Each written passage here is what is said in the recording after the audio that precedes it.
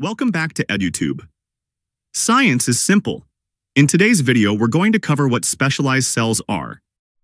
In humans, life begins as a single cell called a zygote, which is simply a fertilized egg.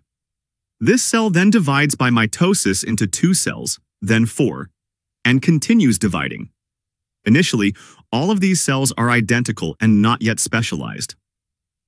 Over time, they undergo a process called differentiation, where they develop into specialized cells such as red blood cells, nerve cells, or ciliated cells.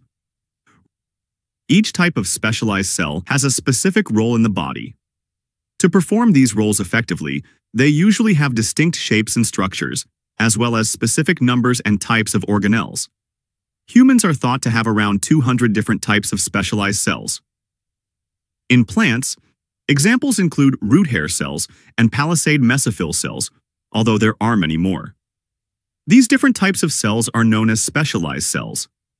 To better understand what a specialized cell is, let's take a closer look at a sperm cell and an egg cell. The role of a sperm cell is to deliver genetic material to an egg cell for fertilization. To carry out this function, both sperm and egg cells have several adaptations. For example, each nucleus contains only half the normal amount of genetic material, which is important because the two nuclei must combine to form a complete set. One of the key adaptations of a sperm cell is the flagellum, which acts like a tail and allows the sperm to swim through the uterus and fallopian tube to reach the egg. Its streamlined shape helps it swim efficiently. Additionally, sperm cells contain many mitochondria, which provide the energy required for movement. At the front of the sperm cell is the acrosome, which contains digestive enzymes that help break through the outer layers of the egg so that fertilization can occur. In an egg cell, the cytoplasm contains yolk droplets made of protein and fat, which serve as food reserves for the embryo's early development. This ensures the embryo has the energy and materials it needs before implantation or before the placenta is formed. If you look at red blood cells, they contain the red pigment hemoglobin to carry oxygen, Hemoglobin can bind with oxygen in the lungs and release it in tissues. Red blood cells lack a nucleus, which makes more space for hemoglobin to carry more oxygen. They also have a disc-like biconcave shape, which helps oxygen diffuse more quickly in and out of red blood cells. Nerve cells have different shape, and they are specialized for conducting electrical signals to and from the brain and spinal cord. These cells have very long fibers that connect distant parts of the body to the central nervous system, such as the foot and the spinal column. These long fibers helps electrical signals to travel efficiently over long distances.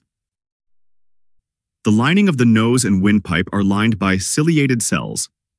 They have tiny hair-like projections called cilia.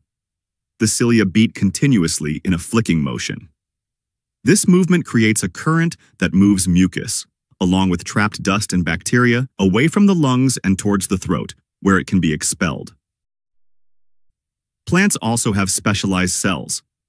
For example, palisade mesophyll cells are found just beneath the upper epidermis of plant leaves. They are column-shaped and packed with chloroplasts, which trap light energy. Their main function is photosynthesis using carbon dioxide, water, and light energy to make food for the plant. Root hair cells are another type of specialized plant cell. Each cell has a hair-like projection that penetrates between soil particles. So they have a large surface area for absorption of water and mineral salts from the soil. In both animals and plants, these specialized cells are produced through the differentiation of stem cells. Stem cells are unspecialized cells that can divide repeatedly by mitosis and have the potential to become different types of specialized cells. We'll take a closer look at stem cells in another video. If this video helped you understand specialized cells better, make sure to like, subscribe, and hit that bell icon so you never miss a bite-sized science lesson from EduTube.